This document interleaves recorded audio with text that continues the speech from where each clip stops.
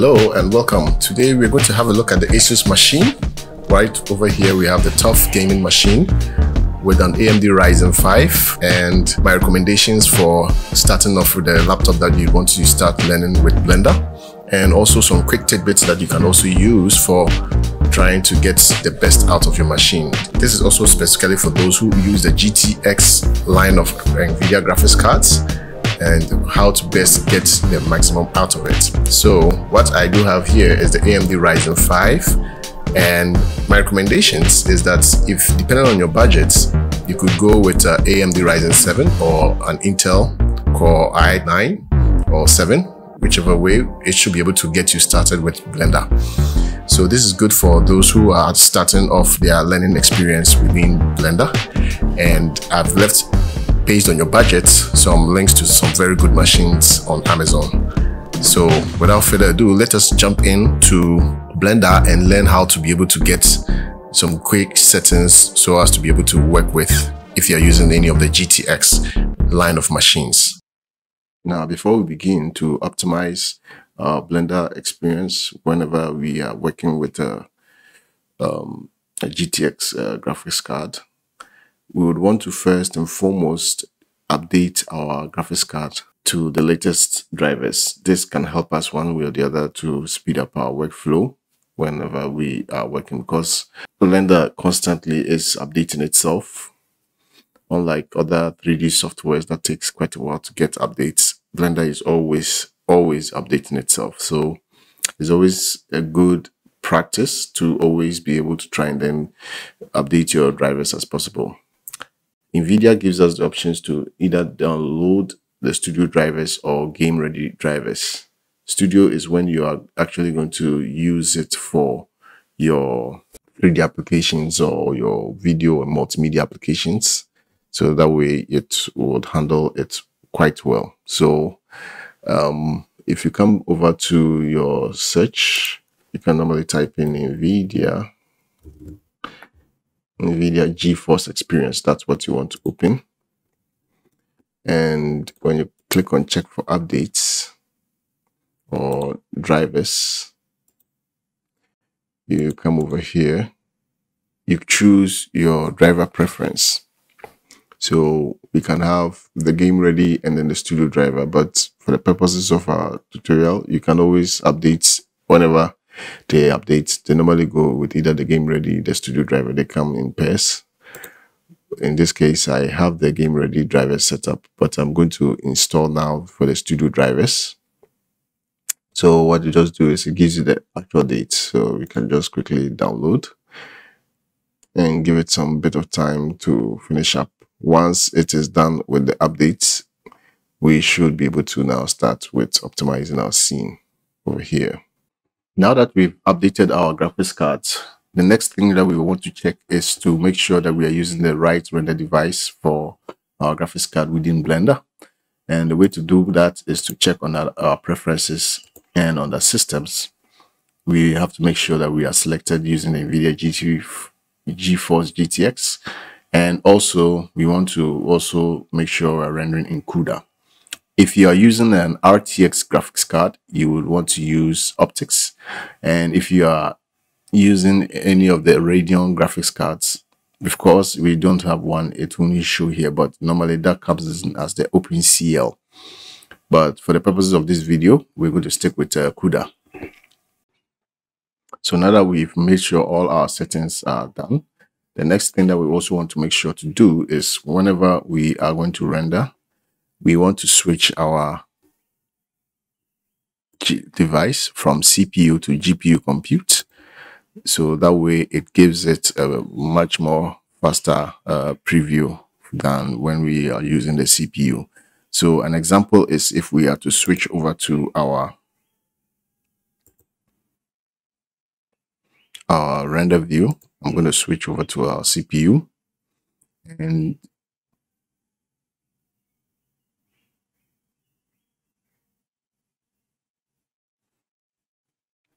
Now, looking from here, you can actually tell we are the number of samples that we want our scene to have and the time is going to take for it to finish.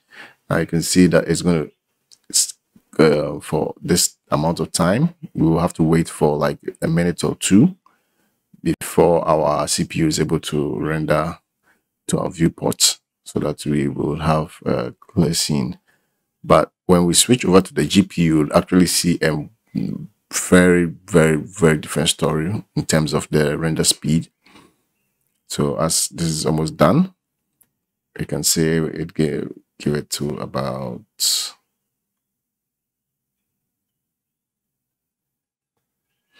let's say we used almost um, a minute to do so. So that's with the CPU. Now, if we switch over to the graphics card, GPU compute, now we would see how long it takes for the graphics card to be able to process all that. So with the samples,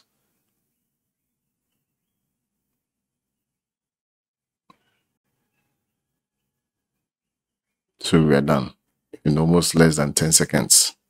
So that's the that's how powerful it is when you are using your graphics card to actually do your viewport rendering. So this helps you out when you're when you need to move around and just have a quick uh, overview of how your render might look like when you finally output it. So this is one um, cool trick. And one other uh, trick that you also need to factor is whenever you are rendering, you always want to apply denoise because most of the times cycles would produce some noise whenever you are um, giving out your final outputs. And there's a built-in denoiser that helps clean off all the noises. If you're using an NVIDIA graphics card, once you set your denoise on, you always set it to OptiX. So that way, whatever uh, preview you're going to see here, the NVIDIA graphics card will help to clean it up for you. And another bonus tip will be the amount of samples you set here for your um, cycles uh, render. That's the same amount you start with the samples over here in your denoiser. So that way it will denoise and also give you a faster preview also when you are dealing with your um, very hefty scenes. So the next thing that we're going to look at is also when you want to reduce your texture sizes. So we have here a bunch of trees and all. Now I'm going to show you how to be able to reduce your textures. And that's a common practice that you can do here. But I'm yet to find out a way to actually do so within Blender to actually change all the texture files within your scene now what we want to do is if we select maybe any of the objects or in this case we can switch to our image editor and what we'll do here is we'll select any of these let's um, select any one of these that has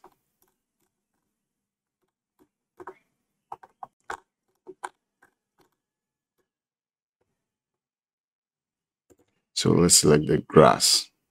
So we want to resize our texture.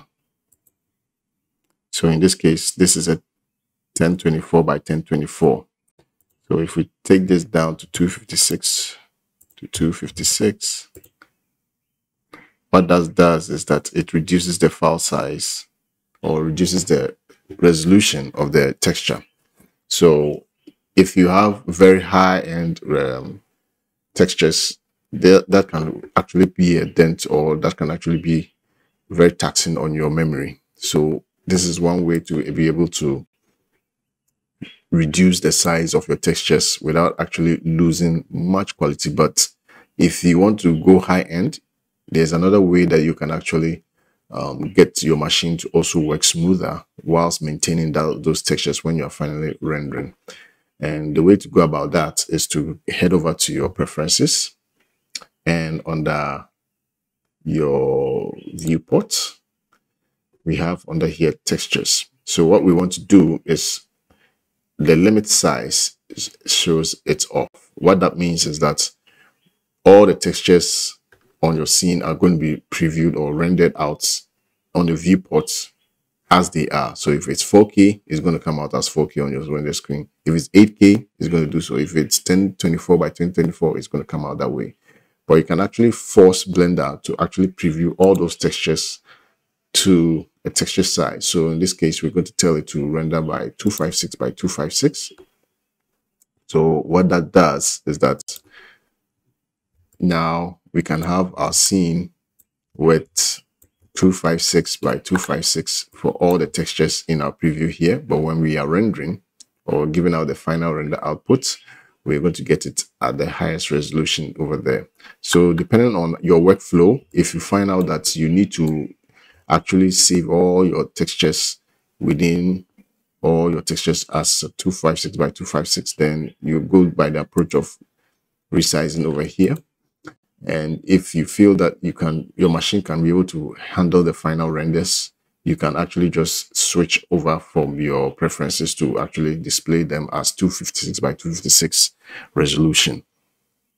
Now, the next um, tidbit that we can look out for is if you have a lot of objects in your scene, we've done all the textures and everything, and you still find out that it is still um, not running smooth or you're not able to work smooth on your machine, there's a way to actually, as you can see here, it's still having that drag even with the textures dealt with, but we can still force ourselves to, you know, um, get the computer to respond a bit more quicker with some few tips.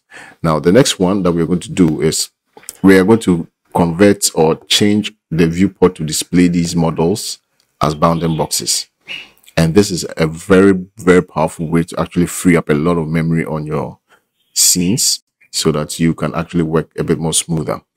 So we have here some trees and some plants and flowers and some um, street lamps within this uh, setting. So what we're going to do is we're going to try as much as possible to turn most of these into bounding boxes since we know what each of these uh, represents and we want to free up the memory. What we're going to do is now for the coconut trees, I have here them labeled. And what I'll do is I'll select all of them. Now to change this to bounding box, you simply head over to your object properties, come over to viewport and display as textured. So what we'll do is set this to bounding box. So it's done so for one, but to actually apply to all of it, you right click and say copy to selected. So what that happens is it changes all these to bounding boxes. And we can repeat that for most of these other models. So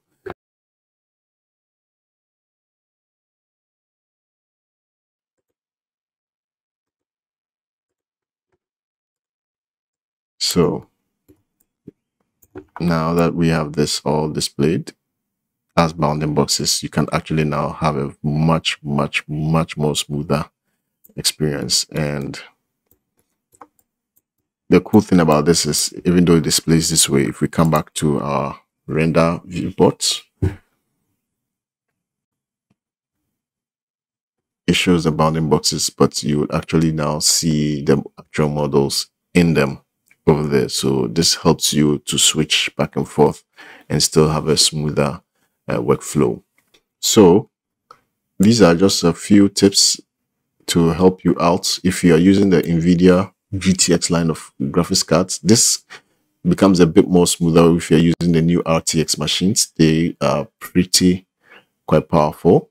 Um, I will get my hands on one of those machines soon, and then we'll see the difference in terms of um, workflows when you're working with them. But if you are using this, if you are a college student or you're just starting out with uh, 3D and you have yourself a good machine that you can use to start your learning process, the GTX line of graphics cards are pretty cheaper nowadays. You can have it for a few, uh, slightly below a thousand dollars but um, if you want to go the RTX way, you can you expect to pay more. But um, for now, I think these uh, these graphics cards can still be able to pack a punch for the next maybe a year or two. In which case, maybe I would advise that you would try and then upgrade your machines to these RTX machines. So this has been a quick overview of how you can give your workflow a bit of a smooth experience if you're using the GTX line. I have links to machines if you're interested to so machines that I would advise or I recommend that you can try out if you're learning or you're starting off with Blender or graphics in general. Thank you, and I'll catch you in the next one.